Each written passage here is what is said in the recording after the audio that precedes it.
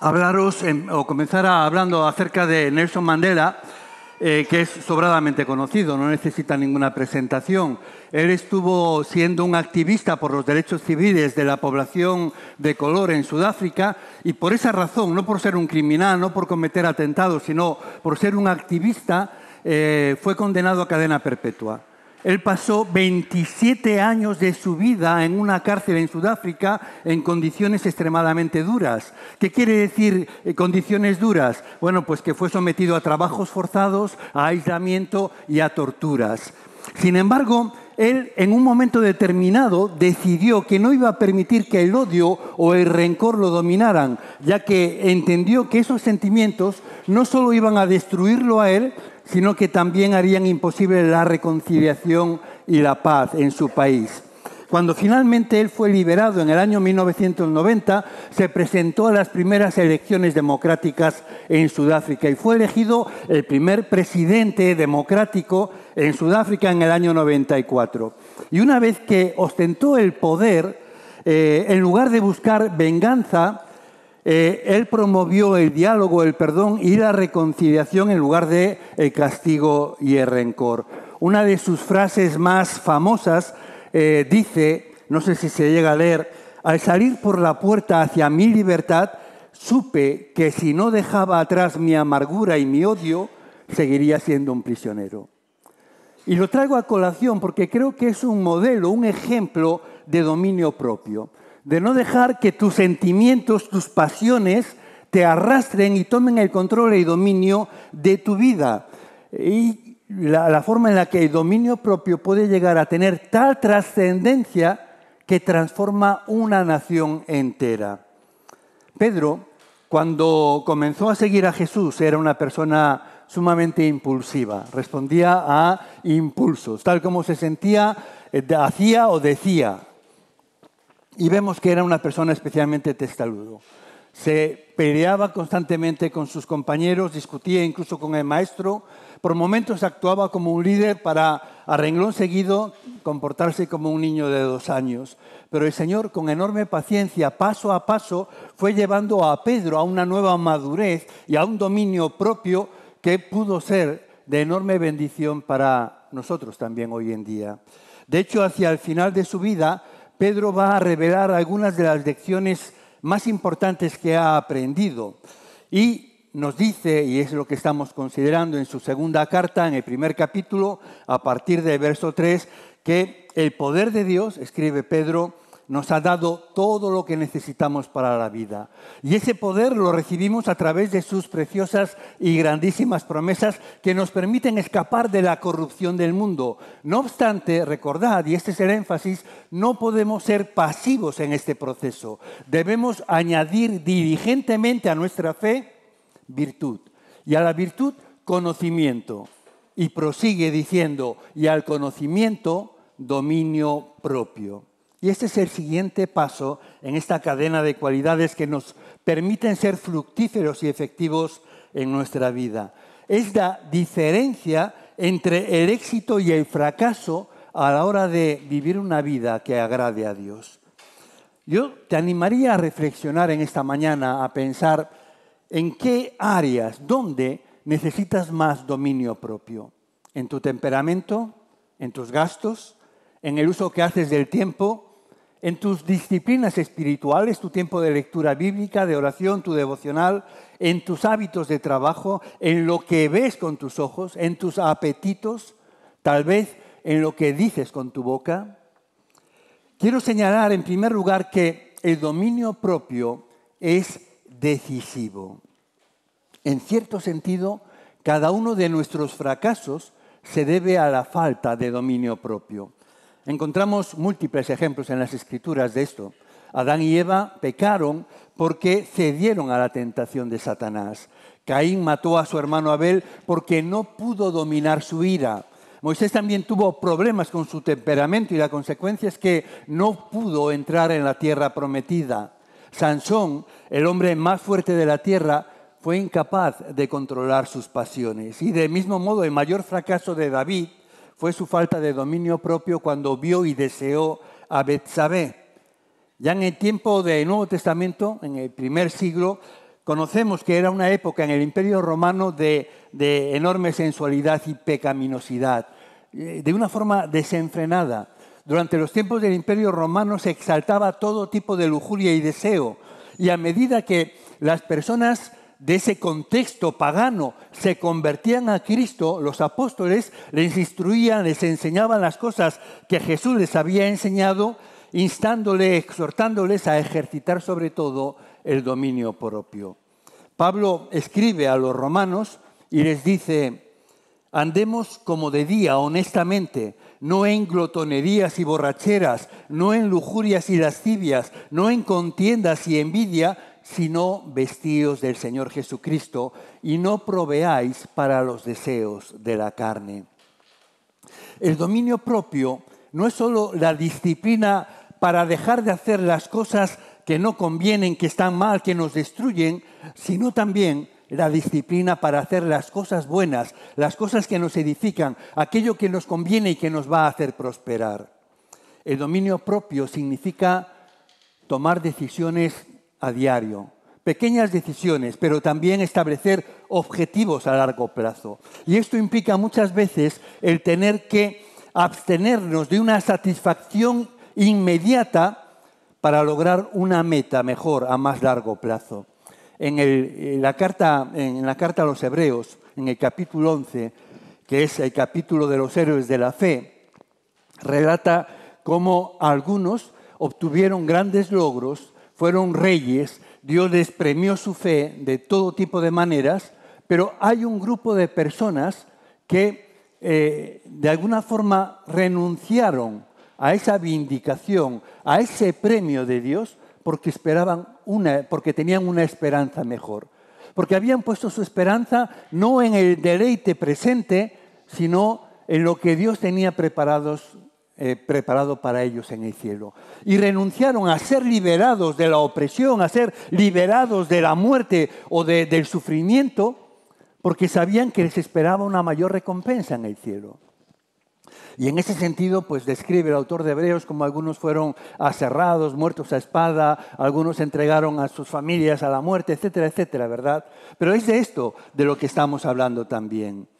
Uno se abstiene para a veces conseguir algo mejor. Y esto significa decir no cuando te gustaría decir que sí, decir suficiente cuando quisieras decir más, decir no lo haré cuando preferirías decir lo haré. Es pensar antes de actuar y controlar nuestros apetitos, las palabras y temperamento, los pensamientos y lo que ves con tus ojos. Para el cristiano, insisto, el dominio propio es decisivo es la diferencia entre el éxito o el fracaso a la hora de vivir una vida que agrade, a Dios. Cuando estudiamos los fracasos en, la Biblia, todos tienen un común denominador, todos tienen algo en común, y es a gente que no pudo hacer lo que sabían que debían de hacer o que hicieron lo que sabían que no debían de hacer. El dominio propio como ninguna otra cualidad, pone de manifiesto la madurez.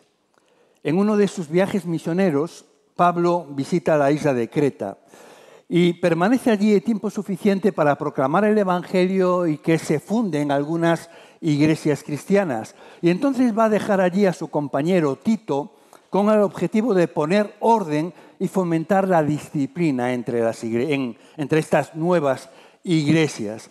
Y cuando empieza la tarea, Tito encuentra dificultades. Entre ellas, bueno, gente que pervertía la iglesia con ciertas enseñanzas, con ciertas invitaciones a ciertos estilos de vida que eran contrarios a, la palabra de Dios. Y entonces eh, Pablo le escribe una carta, la carta a Tito, que conocemos, y en ella va a citar a uno de los poetas cretenses. Y este poeta decía, los cretenses son siempre mentirosos, malas bestias y glotones perezosos. Y Pablo estaba de acuerdo con esta afirmación porque continúa diciendo, y esto es muy cierto, es decir, que era la percepción que había, era, eh, era tal la fama que tenían los cretenses que se había convertido ya en, un dicho, ¿no? De cuando en lugar de decir no seas mentiroso, no seas un cretense, ¿no? Y cosas por el estilo. Entonces, Pablo, a renglón seguido, en el capítulo siguiente, va a escribir lo que quizás son las palabras más poderosas sobre el dominio propio en toda la Biblia. Las encontramos en Tito 2 a partir de verso 11. En verdad, dice, Dios ha manifestado a toda la humanidad su gracia, la cual trae salvación y nos enseña a rechazar la impiedad y las pasiones mundanas. Así podremos vivir en este mundo con justicia, piedad y dominio propio mientras aguardamos la bendita esperanza, es decir, la gloriosa venida de nuestro gran Dios y Salvador Jesucristo. Él se entregó por nosotros para rescatarnos de toda maldad y purificar para sí un pueblo elegido, dedicado a hacer el bien. Toda la epístola a Tito trata precisamente de la necesidad de los creyentes de Creta de alcanzar la madurez, lo que era imposible sin enseñarles la prudencia y el dominio propio, cualidades que ahora están a tu disposición a través de la gracia de Dios. Creta no era muy diferente a lo que es nuestro mundo en la actualidad. Y la invitación es no vivas como los cretenses que hoy habitan en el mundo. La misma gracia que te dio salvación puede enseñarte a decir no a la impiedad, a, a, la falta de moderación, a las pasiones mundanas. Puede ayudarte a vivir una vida de autocontrol y madurez mientras esperas la bendita esperanza del regreso de nuestro Señor. Dice Pablo que Dios quiere purificarte para que seas una persona que es suya y que está deseosa de hacer el bien. Y en este proceso, Él quiere que seamos discipulados, disciplinados y organizados. Y para ello es indispensable, imprescindible, el dominio propio. El dominio propio, además, aumenta la disciplina. Para la mayoría de la gente, la libertad consiste en hacer lo que quieren, cuando quieren, donde quieren y de la manera que quieren, sin preocuparse de nada más. Lo único importante es poder hacer lo que se quiera. Pero la verdadera libertad es imposible sin límites, sin restricciones. Esto puede parecer una contradicción, pero cuando abandonamos el dominio propio y seguimos nuestros deseos, lo que parece ser libertad se convierte en una forma de esclavitud. Nos convertimos en esclavos de nuestros apetitos. Y no voy a poner ejemplos porque lo sabéis. Generalmente todo vicio comienza como un ejercicio de libertad. Lo hago porque quiero, porque puedo, porque me da la gana. Pero al final no puedo dejar de hacerlo. A pesar de que deseo dejarlo, a pesar de que me avergüenza, a pesar de que quisiera abstenerme de ello, me encuentro atado. Tener eh, eh, dominio propio significa establecer límites. Los límites no traen confinamiento, sino que permiten ejercer la libertad. Es imposible practicar correctamente cualquier deporte sin reglas. Conducir sería mortal si no hubiera carriles señalizados, si no hubiera señales de tráfico, si no hubiera semáforos en los cruces. Yo tengo una perra eh, con la que salgo a pasear todos los días. Y me encanta verla correr por el monte. De verdad que es una alegría verla cuando eh, ya empieza a ser un poco mayor, ya va a cumplir los 10 años, ahora en enero, eh, ya es una edad considerable para un perro. Pero, sin embargo, cuando está con ganas y empieza a correr, lo hace como un cachorro, eh, con mucho entusiasmo. Y yo disfruto viéndola a ella venciendo todo tipo de obstáculos, saltando, corriendo, pero cuando llegamos cerca de la carretera, yo la ato con la correa. ¿Por qué? Porque yo sé que ella no entiende ni las señales de tráfico, ni entiende el peligro que hay en esas vías.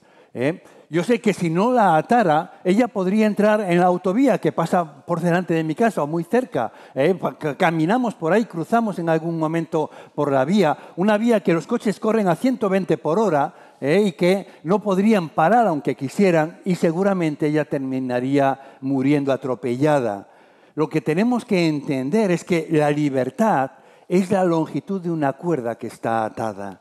Somos libres no para que, para que hagamos lo que queremos, sino libres dentro de los límites que estableció Dios. Cuando Dios nos da mandamientos, cuando Dios pone límites, no lo hace para fastidiarnos, no lo hace para que no seamos libres o, no, seamos, eh, no podamos hacer aquello que nos gusta lo hace para que nos mantengamos en libertad, para que no seamos esclavizados, para que no tengamos que ser atropellados. Y cuando entiendo esto, la verdad es que se hace mucho más fácil quedarme dentro de los límites, porque entiendo que ahí es donde soy libre. El dominio propio, no obstante, requiere una estrategia. No puedes quedarte sentado esperando tener más dominio propio. Tienes que trabajar y luchar para ello. Y por eso quiero darte algunas sugerencias. La primera de ellas es que pidas ayuda al Espíritu Santo. Y cuando estudias las escrituras es sorprendente la frecuencia con la que el dominio propio eh, se asocia con la obra del Espíritu Santo en nuestras vidas. Este tema domina la última mitad de la epístola a los Gálatas, en la que Pablo escribe, digo pues, andad en el Espíritu y no satisfagáis los deseos de la carne. En otras palabras, está diciendo, deja que el Espíritu te controle y no seas tentado a salir de los límites. Pero llamo vuestra atención al orden en el que Pablo escribe las palabras. Fijaos que la Biblia no dice, no satisfagáis los deseos de la carne y andarás en el Espíritu. No, no es así. Es justo al revés. Tienes que estar lleno del Espíritu para que estés bajo su control y Él te dará el poder de decir no a los deseos de la carne. Y luego Pablo describe cuáles son las obras de la carne. Y bueno, a mí me llama la atención que dice que las obras de la carne, el reconocerlas, el conocerlas es fácil. No, no hay ninguna dificultad. ¿eh? Saber cómo reaccionamos en base a nuestras pasiones, lo que nos pide el cuerpo, lo que queremos hacer cuando somos ofendidos, cuando alguien nos eh, agrede, cuando sentimos que alguien no nos respeta o no nos trata como debiera. Y entonces empieza a enumerar. Las obras de la carne son adulterio, fornicación, inmundicia, lascivia, idolatría, hechicerías, enemistades, pleitos, celos, iras, contiendas, disensiones, herejías, envidias, homicidios, borracheras, orgías y cosas semejantes a estas. Está claro, ¿verdad? Eh, esto es lo que nos pide el cuerpo. Veo algo, lo deseo, lo quiero y lo tomo. No me importa si esa mujer está casada, no me importa si yo estoy casado, si me he enamorado, ¿cómo voy a luchar contra el amor? Eh, no me importa eh, lo que Jesús quiera hacer, yo lo que siento es que pues esta persona me la ha hecho, me la tiene que pagar. Y así sucesivamente, manifiestas son las obras de la carne. Pero continúa el apóstol Pablo diciendo, en cambio, por contra, el fruto del Espíritu es, y empieza a enumerar amor, gozo, paz, paciencia, benignidad, bondad, fe, mansedumbre, y llega al final, dominio propio. Y dice, los que son de Cristo Jesús han crucificado la naturaleza pecaminosa con sus pasiones y deseos. Si el Espíritu nos da vida, andemos guiados por el Espíritu. El problema es que yo creo que todos nosotros cuando aceptamos a Jesús y decidimos hacer de Él nuestro Señor, efectivamente crucificamos nuestro yo en la cruz. Pero ese yo no se queda quieto y con tanta frecuencia se baja para hacer de las suyas y lo, que tenemos que hacer es perseverar en llevarlo a su lugar y colocarlo en su lugar, no dejarlo dominar, no convertirlo de nuevo en nuestro Señor, porque ya sabemos lo que ha conseguido en nuestras vidas. Cuando nosotros llegamos a Jesús, generalmente ha sido precedido por una crisis personal, una crisis en la que estaba convencido de que necesito ayuda porque mi vida está en ruinas, ya no aguanto más esta situación. Y a eso es a lo que nos conduce cuando nos dejamos guiar por esa naturaleza pecaminosa y los deseos que ella tiene. Ahora, ¿cómo funciona esto? Pues tenemos que declarar, Señor, yo no puedo controlar esta área de mi vida con mis propias fuerzas. Necesito la fuerza interior de tu Espíritu Santo. Ayúdame hoy a reemplazar las obras de la carne con el fruto de tu Espíritu. Rendirnos a la gracia y a la presencia de Cristo en nosotros es la única manera de salir victoriosos. La Biblia dice pues Dios no nos ha dado un espíritu de timidez, sino de poder, de amor y de dominio propio. Aquí me gusta más Reina Valera. Dice, no nos ha dado espíritu de cobardía. ¿eh? Y es verdad. Por esa razón yo te animo a que tú pidas la ayuda del Espíritu Santo, que busques su plenitud en tu vida. El dominio propio es realmente el control del Espíritu. Mirad, cuando yo preparo un mensaje, procuro, busco, me encantaría que fuera siempre motivacional. Porque yo no quiero predicar para que la gente tenga más conocimiento de la Biblia, sino para que sus vidas sean transformadas. Y deseo motivar a las personas a actuar, a esforzarse por cambiar y ser todo lo que Dios quiere que sean. Ahora, el peligro es que muchas veces esto puede ser malinterpretado por algunos y entender que esto es un mensaje de autoayuda que invita a vivir en, mis propias fuerzas, a que yo puedo lograrlo, a que si yo hago estas cosas voy a conseguir lo que antes no podía, porque ahora ya sé lo que tengo que hacer. Y permitidme que diga algo y para aclarar este concepto. Cada palabra que yo digo es inútil a menos que indique qué hacer con la ayuda del Espíritu Santo. Por eso muchas veces me habréis escuchado decir que tu propia fuerza de voluntad no es suficiente. Si fuera suficiente tu fuerza de voluntad para cambiar tu vida, ya la habrías cambiado. Necesitamos una fuerza mayor que la fuerza que yo tengo. Y esa fuerza solo puede venir de Dios. Esa fuerza es la que nos da el Espíritu Santo para vivir de tal modo que agrademos a Dios y podamos hacer lo que Él quiere que hagamos. Ahora, por eso insistimos constantemente, el primer paso necesario es tener una relación con Dios. Es que Dios venga a morar en tu interior por su Espíritu Santo. Y por tanto, lo primero que tienes que hacer para que tu vida cambie en cualquier situación es pedirle al Espíritu Santo ayuda. Solo desde ese punto algo podrá cambiar. Porque en tus fuerzas lo que podía cambiar ya ha cambiado. Se entiende esto, ¿verdad? En segundo lugar, controla tus pensamientos. Teniendo en cuenta lo que ya hemos señalado, haz de tu mente un aliado en la batalla por el dominio propio.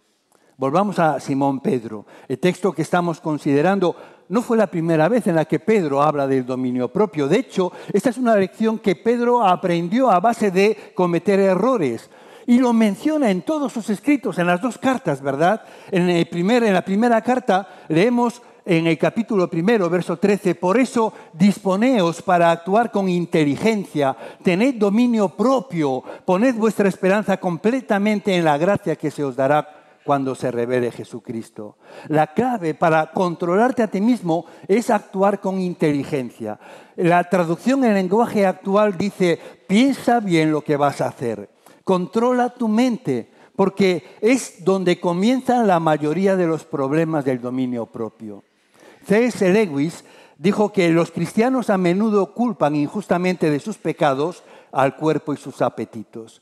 Sin embargo, en la mayoría de los casos, el cuerpo eh, obedece los impulsos que se generan en la mente y muchas veces el propio cuerpo rechaza ciertas cosas. Cuando uno empieza a fumar, esa primera bocanada de humo, aparte de ser muy desagradable, de saber mal, el cuerpo la rechaza a través de provocar una tos. ¿Verdad? Es algo incómodo, no quieres fumar, eso es desagradable. Es la mente la que persevera y quiere intentarlo nuevamente, forzando al cuerpo a aceptarlo, porque considera que es algo sofisticado, algo guay, algo elegante o lo que sea. Cuando uno bebe alcohol por primera vez es amargo, es, sabe mal. No hay nadie, entiendo yo, a quien haya probado el alcohol por menos de cierta graduación y le haya gustado. Es la mente la que le obliga al cuerpo a seguir intentando, a seguir probando hasta que finalmente acepta el gusto, ¿verdad? De esa forma, los pensamientos correctos fortalecen nuestro dominio propio. De igual manera que cuando pensamos mal, nuestro cuerpo se somete a nuestros pensamientos, cuando tenemos pensamientos correctos, nuestro cuerpo se va a ajustar a lo que nosotros pensamos. La escritura nos exhorta repetidamente a desterrar los pensamientos que nutren nuestra naturaleza pecaminosa y a centrar nuestra mente en aquello que agrada a Dios. Como escribe Pablo a los romanos nuevamente, dice, los que están dominados por la naturaleza pecaminosa piensan en cosas pecaminosas, pero los que son controlados por el Espíritu Santo piensan en las cosas que agradan al Espíritu Santo. ¿Notáis? ¿Eh? Podríamos entender que los que están dominados por la carne, por eh, la naturaleza pecaminosa, es porque piensan en cosas pecaminosas. Los que agradan al Espíritu Santo es porque piensan cosas que le agradan al Espíritu Santo. Y el autor de Hebreos nos dice, o de Proverbios, eh, Salomón nos dice, ante, toda, ante todo, cuida tus pensamientos porque ellos controlan tu vida. Pablo escribe a los filipenses en el capítulo 4, verso 8, eh, por lo demás, todo lo que es verdadero, todo lo justo, todo lo puro, todo lo amable, todo lo que es de buen nombre, si hay virtud alguna, si algo digno de alabanza, en esto pensad. Ocupad vuestra mente, llenad vuestra mente de todo aquello verdadero, justo, eh, que, que tenga virtud, algo que sea bueno. Pero nosotros, en lugar de ello, lo que hacemos es retroalimentar el mal. Pensamos y recordamos esa palabra que me ofendió y veo la cara que puso y la reinterpreto y vuelvo a darle vueltas y entonces me lleno de más amargura y entonces salen en mí deseos de, de, resentimiento, de, venganza, de mal. Desecha todo eso. La palabra es clara y nos invita. Aquellos que agradan al Espíritu es porque piensan en las cosas del Espíritu. Si tú piensas conforme a las pasiones de la carne, lo que va a producir esto en tu vida son las obras de la carne, el fruto de la carne que ya hemos mencionado. La solución definitiva para proteger, tu mente es ponerla en Cristo y aprovechar su fuerza. Esto es lo que dice la Biblia. Ya que habéis sido resucitados a una vida nueva con Cristo, poned la mira en las verdades del cielo, donde Cristo está sentado en el lugar de honor a la derecha de Dios. Pensad en las cosas del cielo, no en las de la tierra Pon tu mente en las cosas del cielo, la bendición de ser cristiano, las cosas que Dios nos ha dado. Reconoce que la mayoría de las batallas por el dominio propio no comienzan en nuestros cuerpos, sino que comienzan en nuestras mentes. Que esos pensamientos controlen tu mente y muy pronto el cuerpo lo seguirá en obediencia. Un tercer consejo, adquiere nuevos hábitos. Pablo comprendió que la piedad que todo cristiano desea alcanzar se puede hacer mediante los hábitos correctos. Y le escribe por eso a Timoteo diciéndole, ejercítate en la piedad. Pues aunque el ejercicio físico trae algún provecho, la piedad es útil para todo, ya que incluye una promesa no solo para la vida presente, sino también para la venidera. Nuestra hija estudió ciencias de la educación física y el deporte y siempre nos está animando a que hagamos deporte. Nos envía vídeos de personas de 80 años que tienen mucha agilidad y se mantienen vitales, ¿no? y siempre nos está diciendo con toda la razón que muchos de los problemas que tenemos es por la carencia de hacer deporte. Y yo no cuestiono esto, yo también envío vídeos cuando veo algo. El último que le envié era de una científica que apuntaba acerca de los beneficios del ejercicio físico en la prevención del Alzheimer y decía que prácticamente lo único que está demostrado científicamente es que el Alzheimer se retiene, eh, se, paraliza o se evita a través de ciertos ejercicios físicos. No, sé ahora eh, cuáles hablaba, ¿no? si era cardio o era, yo no entiendo, ¿no? pero hablaba de, de que hay estudios que avalan que el ejercicio físico previene y minimiza el Alzheimer. Y está demostrado científicamente. Ahora, sin cuestionar los beneficios que aporta el ejercicio físico para tener una vejez em, vital, sana, saludable, ahí se queda todo. Es decir, vale, puedes vivir una mejor vida aquí, con más flexibilidad, sin que te duela la espalda, sin problemas de, de salud, pero sin embargo no es comparable al beneficio que tiene la piedad la piedad la hemos definido ya como una vida orientada a agradar a Dios. Cuando tú vives para que Dios se complazca contigo, esto dice que tiene recompensa no solo aquí, sino también en la vida futura. ¿eh? Pero aquí ya tiene recompensa. Aquí te va a servir, aquí va a transformar tu vida. Muchos de los problemas que estás viviendo hoy tienen que ver por no vivir una vida orientada a agradar a Dios, sino a satisfacer los apetitos de la carne. Si tú evitas esto y cambias esto, tu vida se verá transformada. Tus sentimientos van a cambiar. La paz, el gozo, el amor que experimentarás te llenará de tal manera que minimizará o transformará los problemas en bendiciones. Pero esto no termina aquí, esto continúa en el cielo, donde Dios recompensará tu fidelidad. ¿Cómo hago esto? Pues busca comenzar con una pequeña victoria en algún área problemática de tu vida en la que estés luchando por ser más disciplinado. Y luego usa esa victoria como la base, como el peldaño para dar el siguiente paso en otras áreas. Después de varias pequeñas victorias, tu confianza y tu dominio propio habrán aumentado. Continúa haciendo eso y el hábito llegará a ser algo natural en ti. Y el hábito hará que cambie tu temperamento, tu forma de ser. De tal manera que tú vas a ser transformado. Es en ese momento que tu vida cambia un pequeño paso hacia la autodisciplina te pone en el camino de lograr una vida de dominio propio. Y quiero subrayar la importancia de comenzar por lo poco, de dar pequeños pasos. Y cuando digo pequeños pasos, quiero decir cosas más pequeñas de las que tú te puedes estar imaginando ahora. Como por ejemplo, proponte, si quieres tener una dieta más saludable, proponte eliminar durante una semana un producto poco saludable, como puede ser bebidas azucaradas o eh, alimentos ultraprocesados o el pan del restaurante.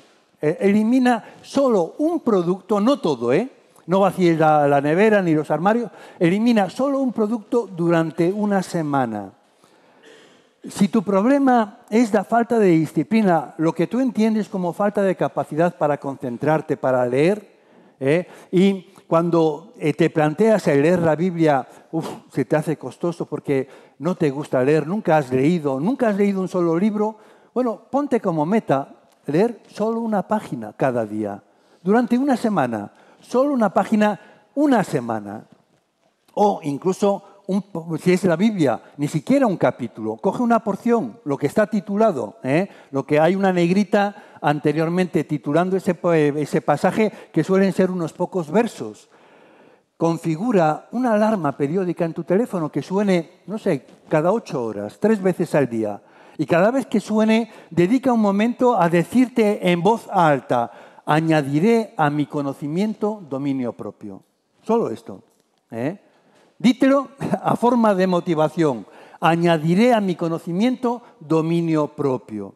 Hay un militar de alto rango que dando conferencias eh, acerca de cómo transformar la vida eh, para ser más disciplinado y tener éxito en la vida, no recuerdo ahora muy bien, pero este militar decía que la clave de las personas exitosas, o decía, si quieres ser exitoso en la vida, empieza por hacer tu cama todas las mañanas.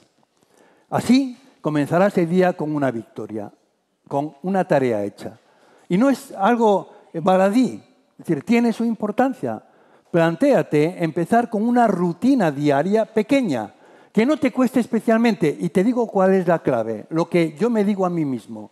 Yo hago la cama todos los días y a veces no te apetece, a veces eh, dices, ¿qué más da? Eh, ya la haré después o hoy por un día no importa. Bueno, la clave es no ser indulgente, no perdonarte a ti mismo. Decirte, ni lo pienses, no, no vas a discutir, obedece. Hacemos la cama, son dos minutos y luego sigues con el resto.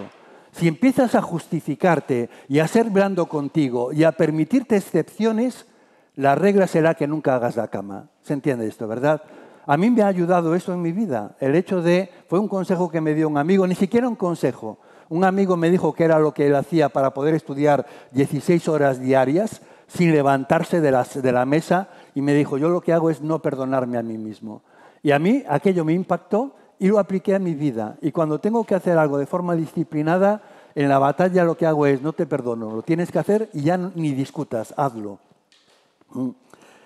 Cuando lo hagas, vas a descubrir que querrás más y que eres capaz porque te has demostrado a ti mismo que puedes hacerlo. Un cuarto consejo, y tengo que apurar un poquito, evita las situaciones de riesgo. A medida que cambies y crezcas espiritualmente, tu deseo de ser disciplinado no va a pasar desapercibido y vas a sufrir el ataque de Satanás. Esto es así, sí o sí.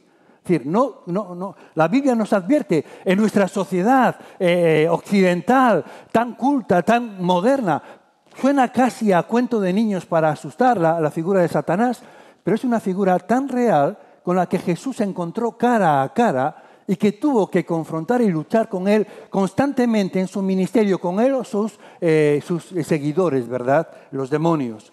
¿eh? Y esto la Biblia describe como una realidad esta guerra espiritual. Y cuando tú estás viviendo en la mediocridad, no eres enemigo. Ah, esto no incomoda a Satanás. Eh, posiblemente se va a ocupar de otras muchas cosas. Esto ya está funcionando de tal manera que Él se encuentra contento con cómo está tu vida.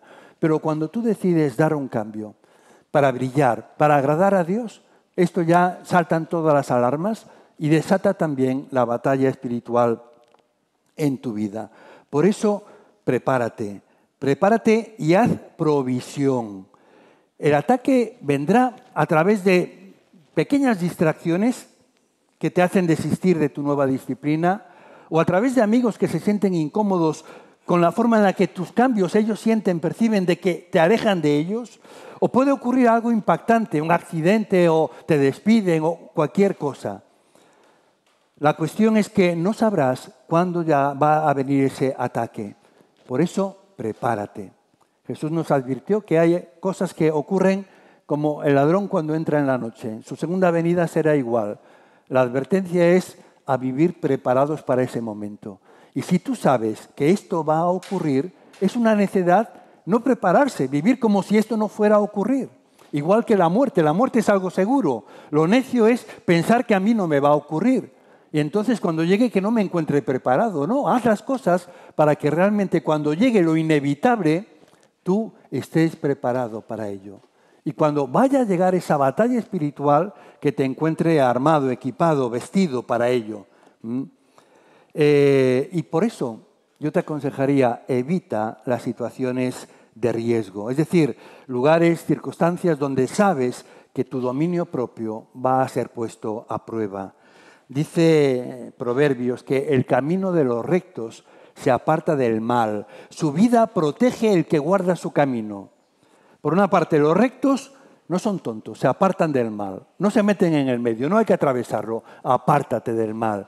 Pero hay una advertencia también, si tú quieres guardar tu vida, si tú quieres guardar tu camino, guarda tu vida, guarda tu camino, es decir, no lo expongas, no te pongas en riesgo, protégelo y así estás protegiendo tu vida.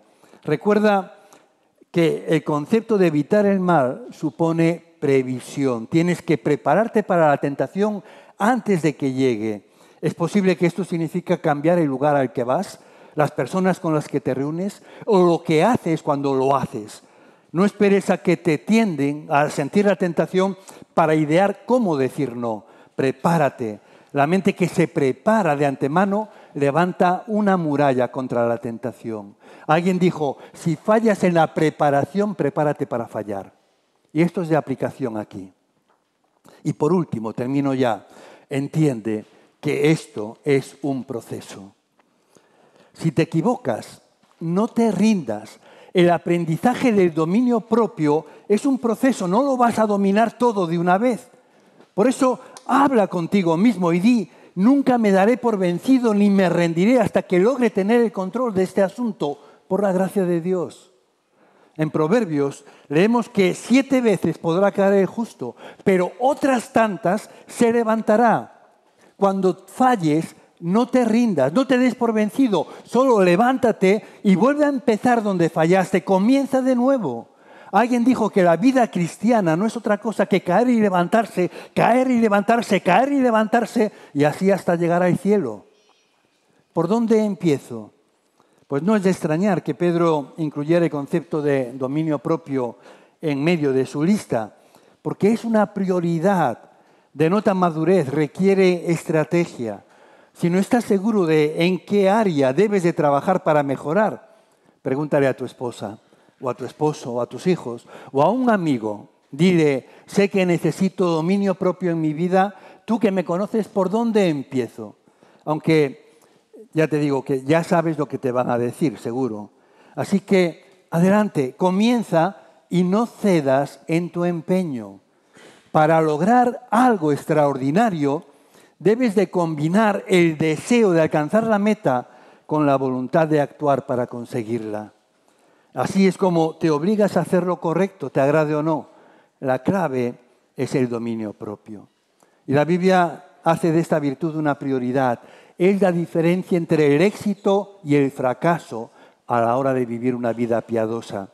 Y recuerda, cuando decidas abordar con el poder y las promesas de Dios aquellas áreas de tu vida que necesitan mayor disciplina, descubrirás que tienes todo lo que necesitas para convertirte en una persona con dominio propio. Todas las cosas Dios ya te las ha dado. Amén. Oramos. Padre, gracias porque tú has provisto todo aquello que vamos a necesitar en esta lucha contra nosotros mismos. Gracias por tu amor y paciencia que no desiste a pesar de nuestras constantes caídas y que una y otra vez tiende su mano, tiendes tu mano para levantarnos. Sacudes el polvo de nuestras rodillas y nos animas a continuar adelante, acompañándonos en el camino. Gracias porque tú no desistes y procuras nuestro bien constante y permanentemente, porque cada mañana haces nuevas tus misericordias. Y Padre, queremos orar pidiendo que tu Espíritu pueda ayudar a nuestro hombre interior a fortalecerse para tomar decisiones correctas, para poder enfocarnos en aquellas cosas que agradan al Espíritu, para poder vivir la clase de vida que tú has pensado para nosotros, para poder ser efectivos y fructíferos, de tal manera que otros al vernos a nosotros deseen tener lo que nosotros tenemos y abrir su corazón a ti. Padre, nos ponemos en tus manos y pedimos tu bendición en el nombre de Jesús. Amén.